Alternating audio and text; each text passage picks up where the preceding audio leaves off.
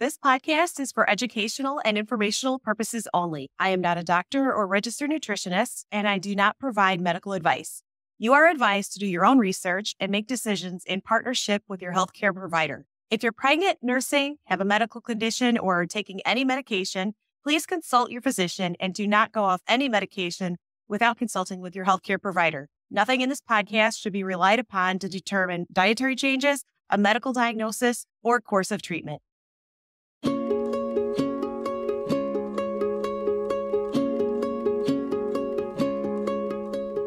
Welcome to the Slightly Greener Life podcast. This is your host, Tonya Harris. I am an award winning environmental toxin expert, best selling author, and mother of three. I created this podcast as a place to help busy moms ditch the overwhelm and start living a low toxin life. Now, let's get into this week's episode. Hi there, and welcome back. We're officially in season two of The Slightly Greener Life. I took a much needed month off of the show to spend time with family before everything gets crazy in the fall again. And now, especially because my kids are all adults, it's just getting harder and harder to spend time with all three of them. So I decided I have to snag time with them when I can. But I am so excited to be back for season two of the podcast. We've got some great guest interviews coming up. And I also have a couple of other topics in the works that I am so excited about. And I think you will be too. So be sure to stay tuned. But back to today's episode. Today's topic is all about safer cell phone use. So before you hit stop on this episode thinking that I'm going to tell you to stop using your cell phone, I'm definitely not going to do that. I love my cell phone and I have always loved my kids having a cell phone. Well, most of the time anyway, I did. But living a safer and lower toxin lifestyle isn't about deprivation. It's really about finding safer solutions that fit into our lifestyle. So in this episode, I'm not going to tell you to ditch the cell phone and go back to a landline. I'm just going to give you some simple tips on how to use cell phones in a safer way that helps reduce exposure to cell phone radiation kids are definitely getting their cell phones a lot earlier than we ever did. I think I was like 25 when I first got my first cell phone.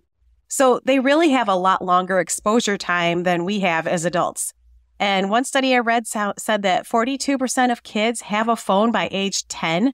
By age 12, it's 71% of kids. And by 14, 91% of kids have a cell phone. Although cell phone and tablet use often comes way before that, because a lot of times it's common for toddlers and preschoolers to use these devices for games and videos. But the problem is that we really don't know what the long term effects are going to be yet, especially when they start out getting their phones so young.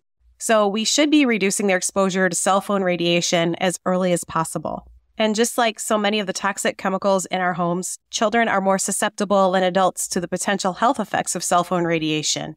And the National Cancer Institute believes that the effects of cell phone radiation should be studied on children separately because their brains are more absorbent than ours are. So it's very easy for that radiation to get absorbed into their brains. And the other thing is that they have thinner skulls than we do, which also makes it easier for the radiation to get absorbed into the brain. A study on cell phones from as early as 2008 found that frequent cell phone use, especially on the side of the head most commonly used, may be linked to tumors in the salivary gland. And the study discovered that people who use their cell phones heavily on that side of the head have about a 50% higher chance of getting a tumor in the main salivary gland, which is called the parotid gland. The risk was compared to people who don't use cell phones much or didn't use that side of the head. So it's really important to be aware of this potential risk. But again, more research is needed to fully understand how cell phones might be related to these tumors. But again, it's always a good idea to use your phone wisely and take some of these precautions I'm about to talk about. The scientist who had conducted this 2008 study predicts that over time, the greatest effects will be seen in heavy cell phone users and in children. What I also found interesting was that the study also found an increased risk of cancer for heavy cell phone users who lived in remote areas. And that's because fewer antennas in the area mean that the cell phones need to emit more radiation in order to get that signal and to communicate effectively. So if you live in a more rural area, you'll definitely want to follow the safety tips I'll be talking about in just a minute. And if you're pregnant, you're also going to want to make sure to follow these tips because a woman's cell phone use during pregnancy has been shown to be associated with an increased risk for behavioral problems in their children, especially problems with hyperactivity and inattention. And that's not the only study linking cell phone use and ADHD type symptoms. because researchers in California conducted a study to understand how using digital media platforms like social media, online shopping, playing games online, and streaming movies and texting affected high school students who don't have ADHD. They followed more than 2,500 students ages 15 and 16 over two years and asked them about their digital media use and checked for signs of ADHD. And what they found was at the end of the study, those who used digital media most frequently seemed to increase the risk of having ADHD symptoms by about 10%. And boys were more likely to be affected than girls, and students who had depression or a history of getting into trouble were also at a higher risk. So having symptoms of ADHD doesn't actually mean they have ADHD necessarily, but having the symptoms of it can still uh, have a, an effect on daily life and in school. So using these devices, especially in childhood, can have negative health and behavior consequences. And again, we really don't know the long-term health effects yet, especially in children who will have a much longer time of exposure. And then there's the issue of sleep. So we know that a lack of sleep can cause problems. And I'm sure you've also heard that it's important to stop using electronics in the couple of hours before bedtime. And that's because our cell phones and our computers and tablets and TVs can emit a blue light, which imitates daylight. So that throws off our circadian rhythms. Exposure to this blue light can suppress melatonin, which is the hormone responsible for our sleep wake cycle. And melatonin levels start to rise in the evening, which really helps your body to know that it's time to go to sleep. And then the levels begin to drop in the morning as it becomes time to wake up. But when this blue light suppresses melatonin, especially at night, it can be hard to get to sleep and stay asleep which I'm sure we've all experienced. I know I sure do, which can cause all sorts of health issues in the body when you're not getting enough good quality sleep. So things like a suppressed immune system, and it can contribute to things like weight gain and memory problems. And then over time, it can cause other serious issues such as cardiovascular disease and diabetes and even cancer. So it can contribute to so many different things. So although the jury is still out in some studies about the health effects of cell phone radiation, there are still many studies that do show the potential for health effects. And then others mention that more research is needed. So I always like to err on the side of caution. So if some studies are finding links to harmful health effects, I'll do what I can to minimize my exposure as well as my family's. And these tips are really easy to follow. So why not do it? So with all that being said, let's dig into some simple steps that you can take to reduce your exposure to cell phone radiation. The first one is don't physically carry the phone on you. When you carry your cell phone on you, like in a bra or a pocket, the phone is emitting radiation to that area of your body. So instead, carry your cell phone in a purse or a backpack as often as you can, and also encourage your kids to do the same. And if you have to carry your cell phone on you, make sure it's on airplane mode, which stops the phone from receiving a signal or from emitting that radiation. Also, make sure to check that the Wi Fi signal is also off because on some cell phone settings, the Wi Fi stays on even when it's in airplane mode, which will still emit some radiation. The second tip is use the phone only when it has a full signal. The fewer the bars it has, the more radiation is emitted because the phone is working harder to get a signal. Also, avoid making calls in cars, elevators, trains, and buses, which that kind of surprised me too. I just learned that because the cell phone works harder to get a signal through metal. So the power level increases and so does the radiation. Number three is use the phone only for essential calls or shorter calls and text whenever possible. But if you do have to use the phone, the FDA suggests holding the phone away from your ear as often as you can, at least a half inch away from your ear, but ideally one to two inches away from your body. The next tip, number four, is use speakerphone if you can, or use headphones so you can keep more distance between the phone and your head. Or better yet, use the cell phone only for essential or shorter calls and again, text when, when whenever possible. So speaking of headphones, when it comes to choosing headphones, my choice is they're called AirTube headphones after doing a lot of research. Instead of using earbuds that use Bluetooth, which while it doesn't produce as much radiation, Bluetooth is still emitting some in an area that is so close to the brain, and some studies have shown a possible link to brain cancer and Bluetooth earbuds. And then wired headsets aren't a whole lot better. They can also emit EMF radiation that can travel through the wires to your ears. So, although again, some of these studies are inconclusive, some do show a link. So, I like to err on the side of caution.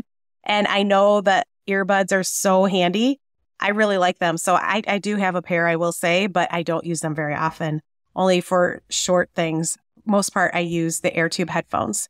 So the safest option I have found and have started using are those AirTube headphones, which instead of being com- a completely wired headset that can emit harmful EMFs to your head through the wire, these headphones have a hollow air tube towards the top that replaces part of the wire. So the ones that I personally use are DefenderShield's AirTube headphones. They're a little pricey, but again, the price of safety, and I think they work really well. So I'll link to these on the episode's webpage at slightlygreener.com slash episode 17. And this is not an affiliate or a sponsored link. It's just a product that I personally use and trust after doing the research. So tip number five, instead of streaming, download TV shows and movies to watch offline and watch them on airplane mode to cut down on the amount of radiation emitted. This will help a lot too, especially if you have young kids and they want to watch movies. Download them first and let them watch them on airplane mode. Number six is to sleep with the phone on airplane mode. So many of us use the phones as alarm clocks and sleep with it close to our heads, but keep it on airplane mode at night to prevent radiation exposure while you sleep. That's really important. And it's so convenient to just kind of look at your phone before bed and put it on your nightstand or next to your pillow and go to sleep because your alarm is set on it. But that's radiation to your head or whatever body part it's near all night long. So if you can't have it on airplane mode, because I sure don't until all my kids are home safe, sleep with it at least three feet away from where you're sleeping. That way, if it is still emitting that signal, it's far enough away from your body. Three feet away seems to be the general consensus I've seen from all the studies I've looked at. But if you can have it off or on airplane mode, that's the best route possible. Number seven, this is our last tip, is use settings on your cell phone, such as night shift on the iPhone or night mode or dark mode on Android to block the blue light in the evenings. So again, remember that this blue light mimics daylight, which can confuse our body's natural circadian rhythm. So these are apps or settings that turn that blue light into a warmer orange red color to block out that blue light that can affect sleep. You can also do something similar with your computer with apps such as F as in Frank, f.lux, L-U-X, or night shift in the settings of your Apple computer. And again, I'll link to these in the show notes. So there you have it. The lowdown on why we should take a moment to rethink our smartphone habits for ourselves and our little ones. So sure, staying connected is great, but we can't forget to balance it out with a little dose of caution. And again, these steps are so simple that why not try them? We don't have to ditch our devices entirely because let's be realistic, who could do that? Definitely not me. but taking simple steps like using speakerphone, keeping phones away from our bodies, or encouraging our kids to take breaks from screens or watching things on airplane mode can really make a difference. So that's it for now. I hope you found these tips helpful. And as always, if you'd like to download these tips, you can find them on my website at slightlygreener.com slash episode 17. And if you'd like to connect with other listeners of the show, I hope you'll join my free Facebook community where you can get tips and advice from me and others on this same low toxin lifestyle journey. You can request to join the Slightly Greener community at the link in the show notes. See you next week. Thank you so much for tuning into this episode of the Slightly Greener Life podcast. Please take a moment to subscribe to the show and then be sure to share it with a friend who you know wants simple steps to living in this complex world. I'll see you next time.